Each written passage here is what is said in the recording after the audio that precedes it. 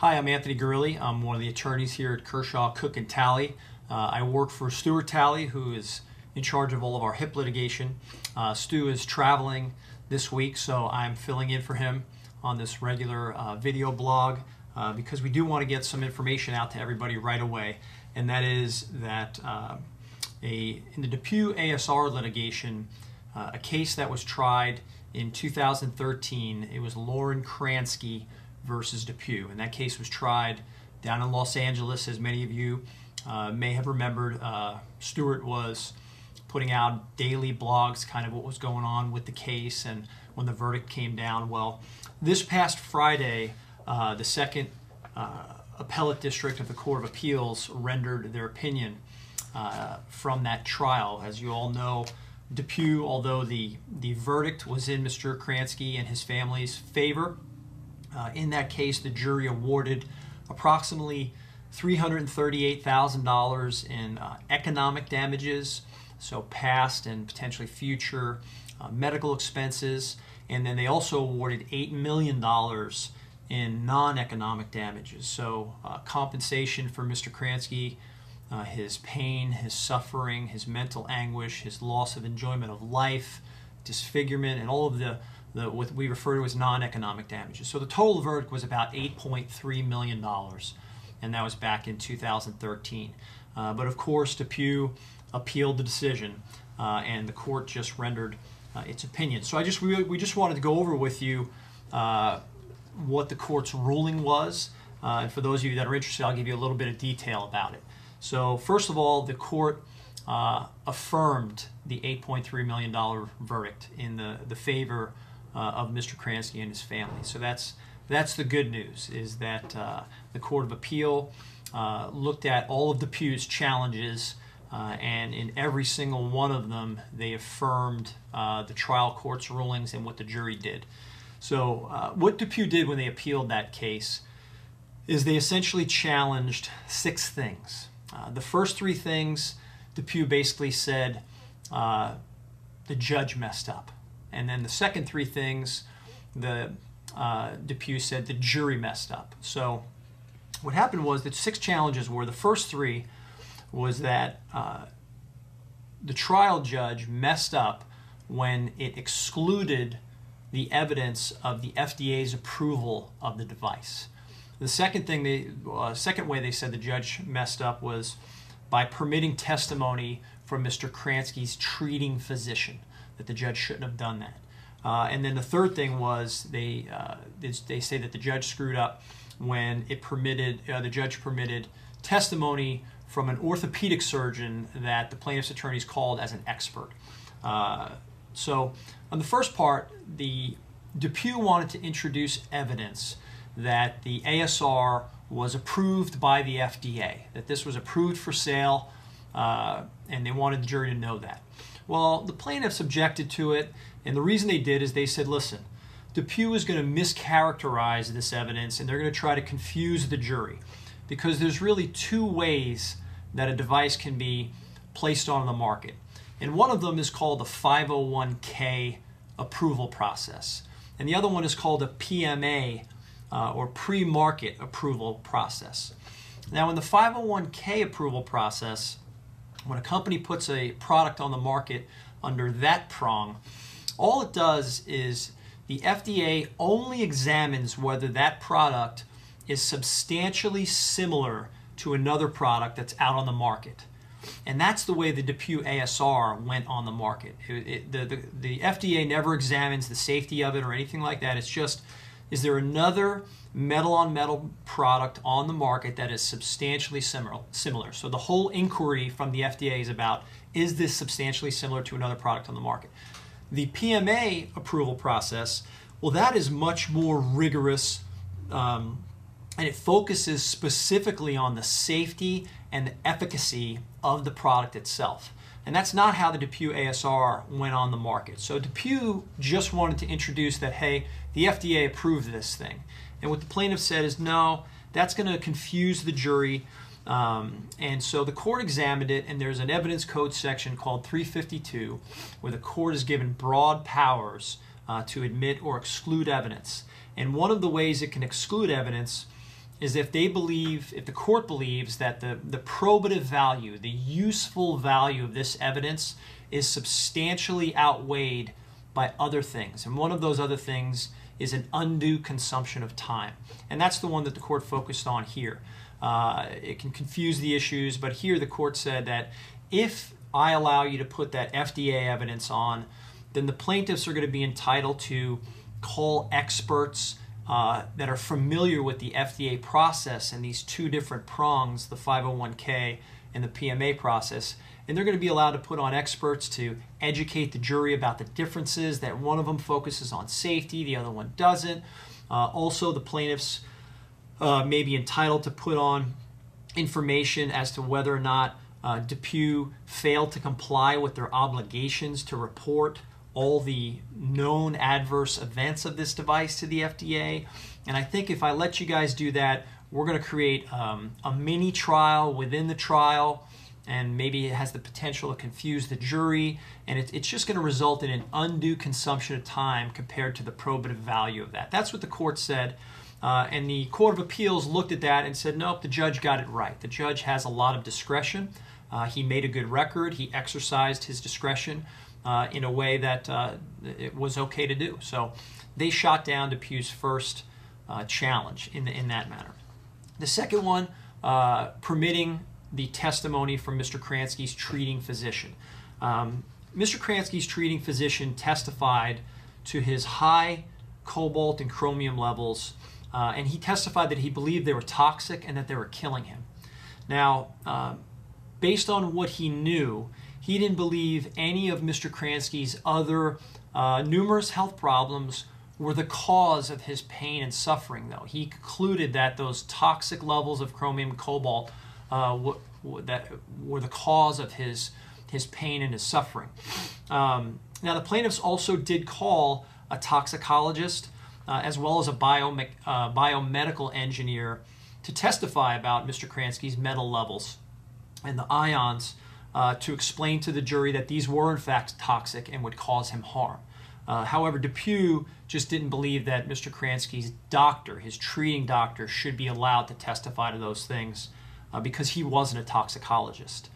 Um, the court ultimately ruled that Mr. Kransky and um, uh, what I'm saying is the Court of Appeals agreed with the trial court that uh, Mr. Kransky's treating doctor had sufficient qualifications to testify about those issues and that it's generally permissible for a treating physician to testify not just about personal observations, uh, but also to his opinions and conclusions, uh, and that DePuy's remedy in that uh, respect was to cross examine him. If they felt he wasn't qualified enough to testify to these things, well, then they could cross examine him in front of the jury and try to show the jury that no, he really doesn't know what he's talking about when it comes to those things. Uh, but the Court of Appeal, uh, Court of Appeal uh, affirm the trial court in that respect. Uh, and it also uh, it should be noted that uh, before revision, his doctor testified that Mr. Kransky was was basically on the verge of death. And after the removal and revision surgery, he again did develop signs of improved health. So the court the Court of Appeals did note that in their opinion. and the third way that DePuy in this appeal said that the judge had messed up was to say that they shouldn't have allowed testimony from the orthopedic surgeon expert that the plaintiffs called. So DePuy uh, objected to this testimony because this orthopedic doctor used five case examples that he had uh, that he believed were representative to illustrate how this device fails. And uh, two things. Number one is uh, when he was deposed, when that doctor's deposition was taken, uh, he did mention that he, they would be uh, providing photographs of some of these other patients to show during the trial. Well, the plaintiffs produced those photos just days before the trial. So DePuy's objections were based on two things. Number one, that this doctor's opinions were just merely uh, anecdotal and couldn't be compared to Kransky's problems, uh, which were quite different. And two, we weren't given these photos of these other surgeries until a few days ago, uh, and we weren't ever able to uh, question this doctor on those other five um, patients. Uh, so the court, what the court ruled in that uh, respect was that, you know, this doctor, his opinions weren't just merely based on those five uh, patients alone. Uh, this doctor had testified that he had performed 207 implant surgeries with the DePuy ASR, uh, and he had performed 70 revision surgeries. And these five were just merely uh, illustrative of the way this device fails. Uh, in addition, the court noted that this doctor overall had performed between five and 6,000 hip implants and had uh, performed somewhere between 800 and 1,000 revision surgeries in all with all types of hips. So um, the court said that you know he was simply using these five cases uh, permissibly to illustrate how the device failed, and he was qualified to do so. Uh, as for DePuy's argument that hey, this was unfair surprise, what the court did is it it fashioned a solution whereby it halted the trial, and it allowed DePuy to go back uh, and take this doctor's deposition on those five particular patients. Uh, and then they resume the trial. Uh, the Court of Appeals, in, in ruling on that, actually praised the trial judge uh, regarding how quickly he was able to come up with a fair remedy mid trial uh, to kind of preserve the case. Uh, and they, the, the Court of Appeals actually stated that his solution was a well crafted and appropriate remedy. So that was it as far as the three main ways that DePuy tried to say the judge messed up. Uh, the Court of Appeals disagreed with them and said the trial judge did just fine. Uh, now, the next three ways that the what DePuy appealed was that the jury messed up. And the first was that they said there was no substantial evidence of a design defect to show that it was the cause of Mr. Kransky's injuries. So DePuy basically said there were other causes of Mr. Kransky's injuries, namely uh, an infection, and a poor implant angle that the surgeon had put in. Uh, now, we know the plaintiff's attorneys, uh, Brian Panish in this case, Mike Kelly, John Gomez, they, when they, uh, as to that issue, the plaintiffs put up a slide showing uh, that this this design was defective at any angle, and they showed uh, an angle of 38 degrees, 40 degrees, 44 degrees, 45 degrees, and 48 degrees. And they showed photos of each one of those, and every single one of them had failed and uh, necessitated a revision surgery. Um, now, to this, uh, whether or not there was substantial evidence to show that it was a defective design that was the cause of his injuries and not something else, to this, the court simply really deferred to the jury's findings. Uh, if a reasonable juror uh, could have found for the plaintiff based on the entire record, uh, then the court kind of leaves it alone. Uh, it doesn't reweigh the evidence or the credibility of the witnesses. That's for the jury to decide. And uh, since the jury came out uh, in, the, in uh, DePuy's favor in this regard, the court left it alone. DePuy did argue that Kransky was required um, to eliminate all other potential causes. And to this, the Court of Appeals stated that Montana law, which the California court was applying Montana law in this case because that's where Mr. Kransky was from. Uh, Montana law simply doesn't require the plaintiff to eliminate all other causes of his injuries. Uh, when there's conflicting evidence on causation, Montana law says it's for the jury to decide. So uh, the, the Court of Appeal dispensed with that argument. Uh, the second way that the that DePuy said that the, the jury messed up in this case was that its verdict was internally inconsistent and therefore it cannot stand. And this is what DePuy argued. First, uh, they said the jury could not have found that the implant was defectively designed, which required a finding that the device was dangerous beyond what physicians had anticipated, uh, but still find that DePuy had adequately warned the physicians with respect to failure to adequately warn uh, of the ad- adequately warned cause of action. So, uh, to that, the Court of Appeal said that when Kransky got his initial implant, information was still flowing in uh, to DePuy from the medical community about these devices. And he got his implant in 2007. Um, so the jury could find that at that time, surgeons were adequately warned while still finding that the design itself was defective based upon uh, it failing to later perform as the physicians would have expected, beyond the physician's expectations. So, thus, with that, there was no uh, inconsistency in the jury's findings. The second way that uh, DePuy said the jury's findings were flawed was that DePuy argued the jury could not find that the ASR's design defects caused Kransky's injuries on the strict liability claim, but did not cause his injuries on the negligence claim. The, the DePuy said that is internally inconsistent and that can't stand. Uh, well, to this, again, uh, the Court of Appeals said no, the jury's finding is not inconsistent. And here's why. The court stated that the jury could have found that DePuy, for instance, was negligent when it designed the implant. Uh, a defect in the implant caused an injury to Kransky, but the particular de- defect that caused Kransky's injury was not the result of DePuy's negligence. And the example that the Court of Appeal gave was that the jury could have found that DePuy was negligent in designing the implant because they failed to have a toxicologist on the design team. Uh, but Kransky didn't prove that had there been a toxicologist on the design team, the product would not have come onto the market in a defective state. So there's an instance where DePuy could have been negligent, uh, but still it, it's not inconsistent with finding that it was a defective design. So, and then finally, the last thing that uh, DePuy appealed in this case uh, was that the damage award was excessive. And to that, the court pretty quickly dispensed with DePuy's arguments. Uh, simply, Montana law requires that the amount that the jury awarded was to be so grossly out of proportion as to shock the conscience. That's the, the term that's really used. Does this shock the conscience? Uh, and to that, uh, DePuy wanted the court to look at other cases, uh, other similar cases, but uh, the, our Court of Appeal noted that Montana law already forbids using damage awards in one case as a measuring rod in another case because they're unique.